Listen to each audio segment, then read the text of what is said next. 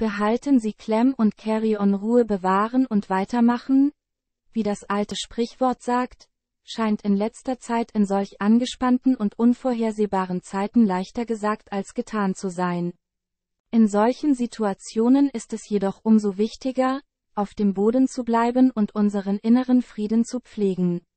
Schweigen ist Gold, Stille ist das Element, in dem sich große Dinge zusammenfügen. Thomas Carlyle Der Alltag ist so voller Hektik, deshalb ist es wichtig, sich jeden Tag ein paar Momente der Ruhe für sich selbst zu nehmen. Noch besser, die stillen Freuden des Lebens, ein Leben, das in Dankbarkeit gelebt wird, hat eine Ruhe, eine stille Freude. Ralf H.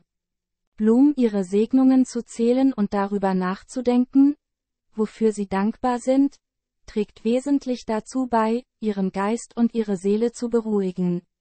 Paddeln Sie weiter, sei wie eine Ente. Ruhig an der Oberfläche, aber immer paddelnd wie die Dickens darunter. Michael kein Ruhe bewahren und hart arbeiten schließen sich nicht aus. Erlauben Sie stattdessen Ihrer ruhigen Haltung, Ihre Arbeit voranzutreiben, wie die Ente in diesem ruhigen Zitat. Sei der Himmel, du bist der Himmel. Alles andere ist nur das Wetter.